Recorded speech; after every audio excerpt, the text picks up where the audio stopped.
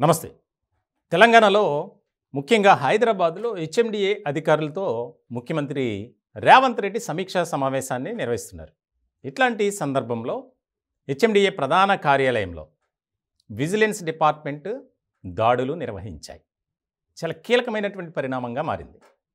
Already గతంలో HMDA అధికారులతో సమీక్షా సమావేశం నిర్వహించినప్పుడు ఆయన అందరి ముందు చెప్పారు. మరో పదిహేను రోజుల్లో హెచ్ఎండిఏ కార్యాలయాలు అలాగే జిహెచ్ఎంసి కార్యాలయాల్లో విజిలెన్స్ సోదాలు దాడులు జరుగుతాయి. ఆ దాడులకు సంబంధించి ఏమైనా అక్రమాలు కానీ అవినీతికి పాల్పడిన అధికారుల వివరాలు బయటకు వస్తే ఎవరిని కూడా ఉపేక్షించేది లేదు అని హెచ్చరించారు. ఇట్లాంటి సందర్భంలో పదిహేను రోజుల వ్యవధి కాదు మూడు రోజులు గడిచింది అది. తాజాగా జరిగినటువంటి సోదాలకు సంబంధించి ఆసక్తికరమైనటువంటి చర్చ జరుగుతుంది.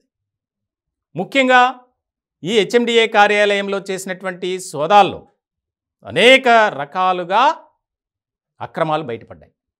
ప్రధానంగా పలు విభాగాలకు సంబంధించినటువంటి ముఖ్యమైనటువంటి ఫైల్స్ మాయం. అలాగే అక్కడ ఉన్నటువంటి ఎప్పటి నుంచో ల్యాండ్ రికార్డ్స్ అలాగే ఇతర ముఖ్యమైనటువంటి పనులకు సంబంధించినటువంటి డేటా మాయం. వీటిని గుర్తించారు ఇప్పుడు అధికారులు అంటే తీగ లాగితే డొంక కదిలింది అన్నట్లుంది హెచ్ఎండిఏలో వ్యవహారం. ఆదాయానికి మించినటువంటి అక్రమాస్తుల కేసులో హెచ్ఎండిఏ మాజీ డైరెక్టర్ శివబాలకృష్ణ అరెస్ట్ అయ్యారు. దానికి సంబంధించి అనేక మంది పేర్లు ఆయన చెప్పారు స్టేట్మెంట్ ఇచ్చారు. ఇట్లాంటి తరుణంలో ఆయన ఇచ్చినటువంటి ఆధారాలు బట్టి హెచ్ఎండిఏలో సోదాలు. చాలా కీలకమైనటువంటి పరిణామం. ముఖ్యంగా అనధికారికంగా అనుమతులు ఇవ్వటం అట్లాగే కొంతమంది వ్యక్తులకు లాభం చేకూరే విధంగా వ్యవహరించారు అధికారులు అనేది గుర్తించారు. ముఖ్యంగా ఒక యాభై కీలకమైనటువంటి పనులకు సంబంధించి ఫైల్స్ మాయమయ్యాయి. అలాగే భారీ రియల్ ఎస్టేట్ కంపెనీలకు ఇష్టానుసారం అనుమతులు ఇచ్చేశారు. ముఖ్యంగా షేర్లింగంపల్లి అలాగే కోకట్పల్లి జోన్స్లో ఎక్కువగా ఈ అక్రమాలు చోటు చేసుకున్నట్లు అధికారులు గుర్తించారు. చాలా ముఖ్యమైనటువంటి అంశంగా మారింది. ముందు నుంచే ముఖ్యమంత్రి రేవంత్ రెడ్డి గారు చెప్తూనే ఉన్నారు. ఎవరైనా అక్రమాలకు అవినీతికి పాల్పడినట్లు తెలిస్తే నిర్ధారణ అయితే వారిపై కఠిన చర్యలు తప్పవు అని. ఇప్పుడు తాజాగా ఈ పరిణామం. దీనికి సంబంధించి చాలా ముఖ్యమైనటువంటి అంశంగా మారింది.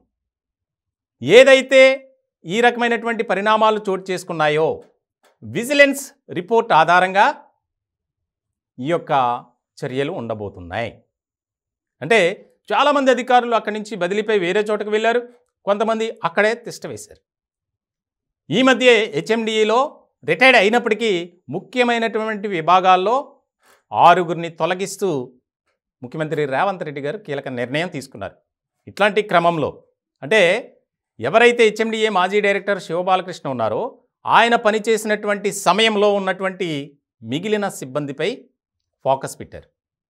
ఈ షేర్లింగంపల్లి అలాగే కూకట్పల్లి డివిజన్స్లో ఎక్కువగా అక్రమాలు జరిగాయి.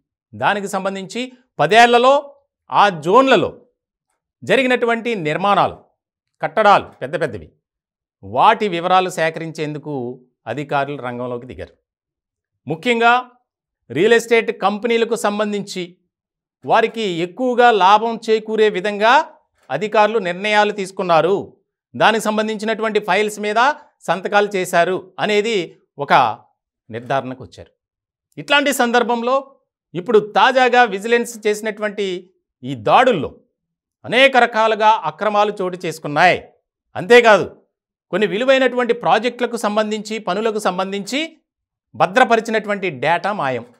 అలాగే ఫైల్స్ కొన్ని కంప్యూటర్లు కూడా మాయమయ్యాయి. హార్డ్ డిస్క్లు కూడా మాయమయ్యాయి. ఇప్పుడు దాని మీద కూడా నిఘా పెట్టారు. అసలు ఎవరు వీటన్నిటికీ శ్రీకారం చుట్టారు. బాధ్యులు ఎవరు వారందరిపై కఠిన చర్యలు తీసుకోవాల్సిందే.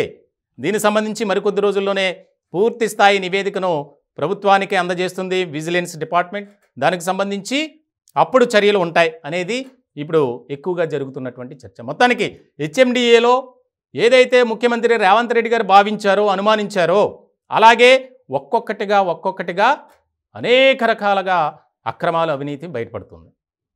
మరికొద్ది రోజుల్లోనే కీలకమైనటువంటి అధికారులు అలాగే కొంతమంది గతంలో అధికారంలో ఉన్నప్పుడు ఎవరైతే మంత్రిగా ఉన్నారో వారి వ్యవహారం కూడా బయటపడే అవకాశాలు ఎక్కువగా కనిపిస్తున్నాయి అనేది ఎక్కువగా చర్చ జరుగుతుంది.